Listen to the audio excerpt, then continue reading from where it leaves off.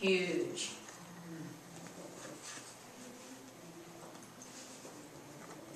I'm letting some of you off the hook.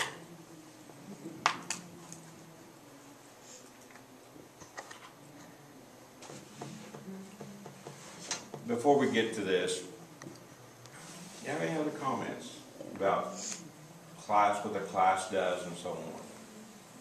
And things that we could do? I'm gonna surprise you, I'm gonna be done two minutes early. We'll see about that. I think that this is a very significant lesson. Uh, I think that uh, it, there's, there's just a lot in there, but it pretty well represents this class and some of the great things that this class does. I really do believe that. And uh, there's a lot of things, I'm trying not to pick on just one particular area, that's kind of holding me back a little bit because, but I do believe that this class does, uh, does succeed in this particular thing. You haven't mentioned the person who first came here and wound up playing the piano every morning for months and months and months. Well, I, uh, this problem, you have to kind of watch that situation because she'll actually go to any church that pays her, you know. You're not doing well here. I know, right up until, Well, your bread is buttered. Have a glass on the piano where we can put some. there you go. Thank you so much for doing that. Oh. If you, if you think about, and I, I would go, let me let, view just for a moment. I was talking to Larry the other day, and I'm gonna share with you this. When I was young, I attended, I was president of the Methodist Youth Fellowship in Cunningham, Kansas.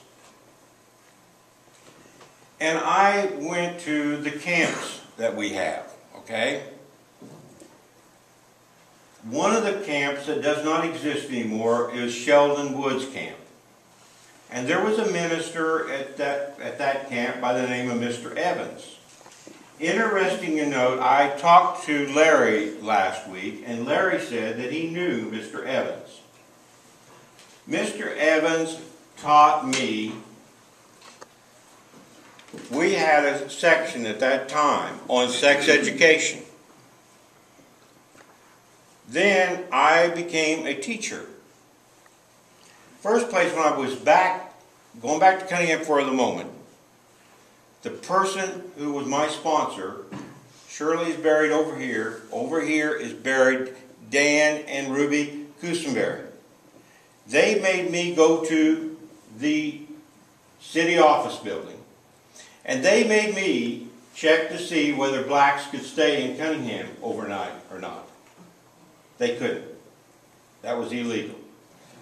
If a black came to Cunningham, there was one person that would probably help him. That was my dad.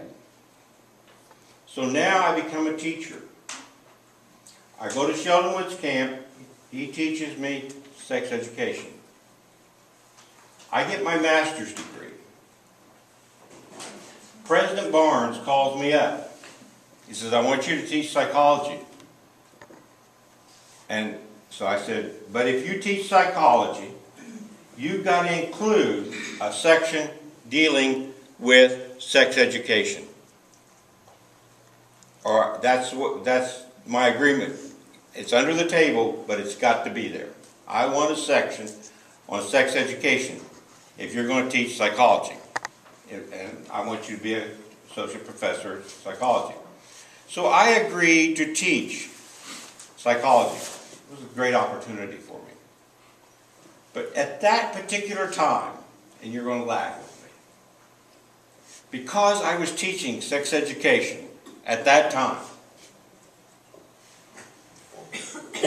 no doubt about it, I was a communist. There was no doubt. This guy was a communist for teaching sex education. And that, and it's rather interesting that it was the Methodist Church, it was Reverend Evans, and I, I, do you know, did you remember him at all, Bob? Oh, yes, I know Armor Evans very well. Yeah, me too. Do you? Edna too.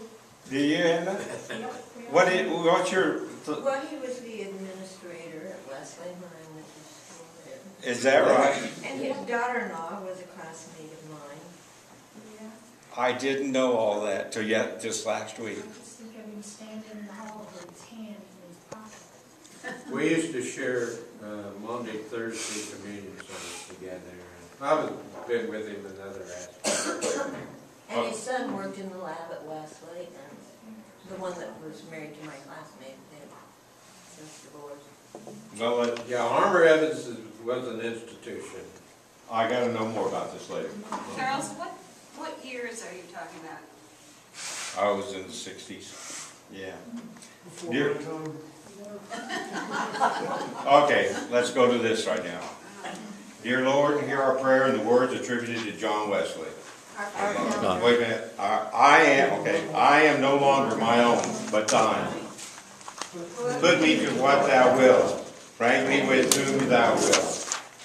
Put me to doing, put me to suffering, let me be employed for thee, or laid aside for thee, exalted for thee, or brought low for thee. Let me be full, let me be empty. Let me have all things, let me have nothing. I freely and heartily yield all things to thy pleasure and disposal. Amen. Thank you. Thank you, Go Charles. past your two minutes. Huh? Did we go past your two minutes early? Yeah, no, you went too fast, minutes too fast, late. Second coming. Something I didn't bring up before, uh, Carol is gonna be going on a vacation, and so it will be after she gets home that we will have a social.